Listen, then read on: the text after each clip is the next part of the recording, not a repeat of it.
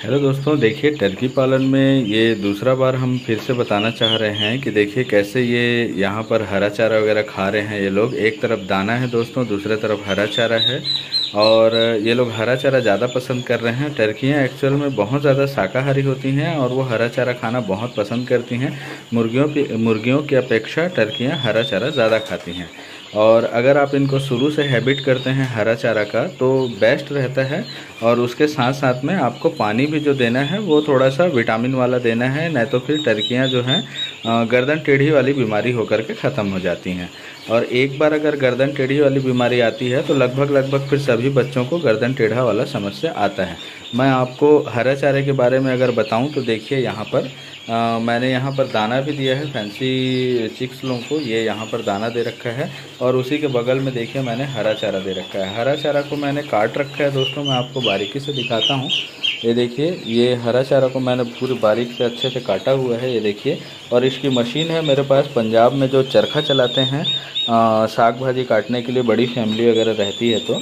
वो वो वाला है मेरे पास। आप चाहें तो उसको अमेज़ोन में भी ढूंढ सकते हैं या फिर मुझे बोलने से मैं आप लोगों को दे भी दूँगा। इससे बहुत आसानी होता है दोस्तों, अगर दो चार मुट्ठी भी आप काटें तो नाप करके कटता है और छोटे बच्चों के लिए बहुत बढ़िया। देखिए, यहाँ पर मैंने कुछ पैरोट वीक रखे हुई हैं। ये पैरोट वीक भी देखिए कितना अच्छा यहाँ पर खा रहा है है ना? और यहाँ पर देखिए, ये टर्की लोगों के पास में दाना पड़ा हुआ है। ये, वो दाना को छोड़ करके वो लोग पूरी तरह से हरे चारे के ऊपर डिपेंड हैं। और इतने बड़े टर्कियों को तो मैं 50 परसेंट हरा चारा दे देता हूँ। अभी ये टर्की वन मंथ के होने जा रहे हैं जिनकी जिनकी बुकिंग है आ, वो लोग कृपया रिमाइंडर करें मुझे मैं दोबारा उनको भेजता हूँ या तो फिर मेरे को लिस्ट देख करके उनके पास भेजना पड़ेगा माल। माल एक्चुअल में देखिए नया कुछ आया हुआ है ये पैरोट वीक है बहुत ही सॉलिड है। मैं अच्छे से दिखाता हूँ देखिए।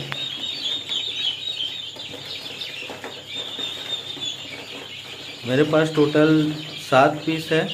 ये जैसे आप देख पा रहे हैं साइज़ भी अच्छा ग्रो कर रहे हैं ये लोग।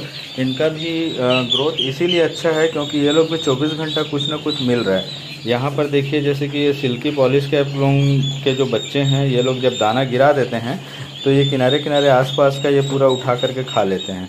लेकिन मैंने एक चीज़ इसमें देखा है दोस्तों कि अगर मैं ये इस पैरोट वीक को वहाँ पे मिला रहा हूँ जैसे ही तो ये लोग टर्की के बच्चे को दौड़ा रहे हैं। क्योंकि पैरोट और मेरे जो टर्की के जो साइज़ हैं ये एक ही है लगभग। उसके बाद भी ये लोग ऐसा फाइट कर रहे हैं जैसे हसीर मुर्गा फाइट करता है उस टाइप का फाइट कर रहे हैं बहुत ज़्यादा और उसको नुकसान पहुँच टर्की को तो इन्होंने मार ही दिया। आ, मैं आपको दिखाता हूँ पूरा घायल कर दिया उसको।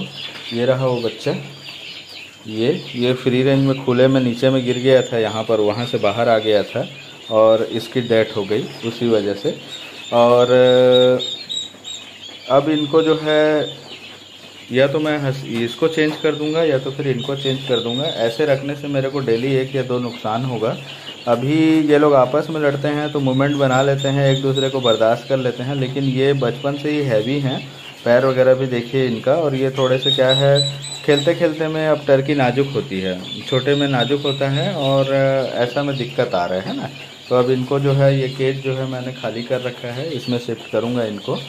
और एक दोस्त का सवाल था मेरा कुवैत से, वो पूछ रहे थे कि आप जेनविन वीडियो बनाते हो, अपने फार्म का बनाते हो बहुत अच्छा लगता है जेनविन जानकारी दें। तो जानकारी के ऊपर अगर मैं बात करूँ दोस्तों तो ऐसा है, उनका कहना ये था कि जो भी नेचुरल है, आप सब तरीके से कर रहे हैं तो कृपया डिटेल बताएँ कि किस फ़ार्मिंग में फ़ायदेमंद है और कौन सा करना चाहिए।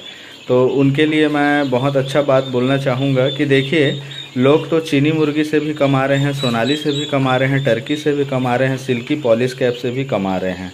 कमाने वाले कहीं ना कहीं से कुछ ना कुछ कमा रहे हैं।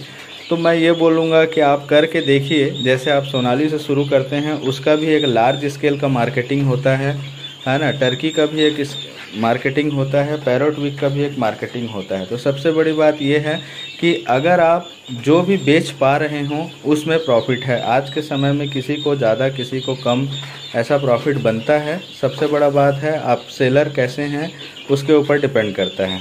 जैसे कि जो माल तैयार हो गया और आपके यहाँ रुक गया तो फिर वो नुकसानदेह है, बहुत ज़्यादा नुकसान है, क्योंकि वो बैठ करके खाएगा।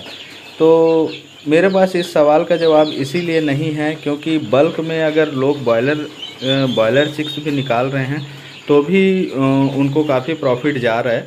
क्योंकि अगर मान लीजिए कि कोई एक लाख का करता है बॉयलर फ़ार्मिंग और उसको मात्र दो रुपया या तीन रुपया ऐसा भी अगर प्रॉफिट आता है, दो रुपया आता है तो दो लाख रुपया उसका पर 45 दिन में टर्नओवर बनता है। मैंने सारे खर्चे काट के मोटलिटी काट करके ओनली फॉर दो रुपया प्रॉफिट निकाला है।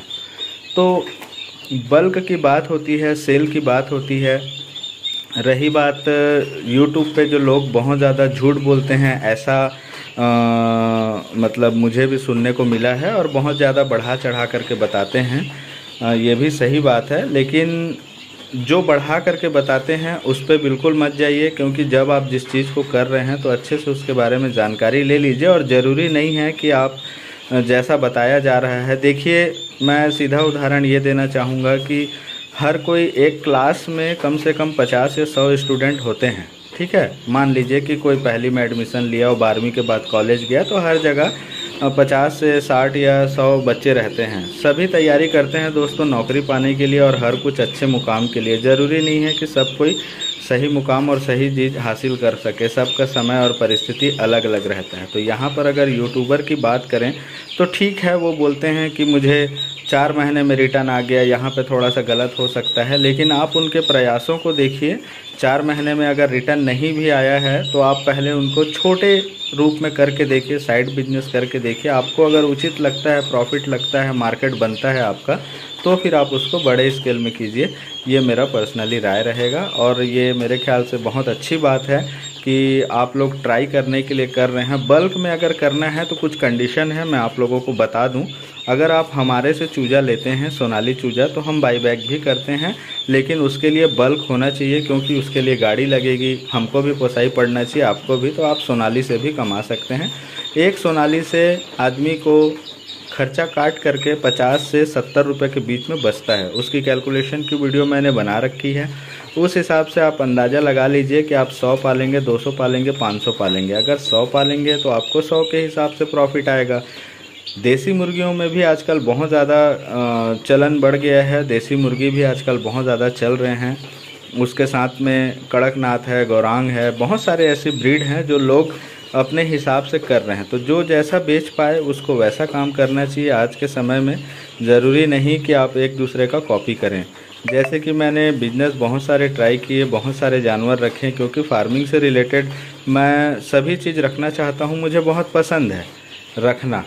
तो मैं रख रहा हूँ सेल हो रहे हैं, कर रहा हूँ।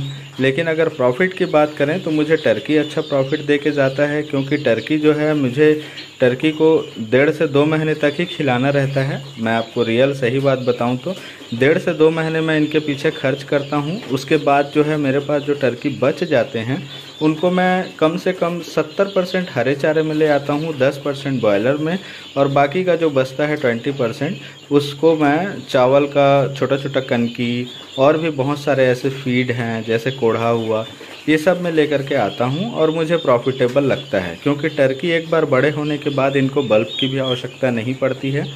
बिजली बिल का आपका माइनस हो जाता है और दूसरी बात है, मैंने अपना टर्की मार्केट खुद बनाया है। यहाँ पे मीट मीट पर्पज़ सप्लाई भी होता है मेरे यहाँ।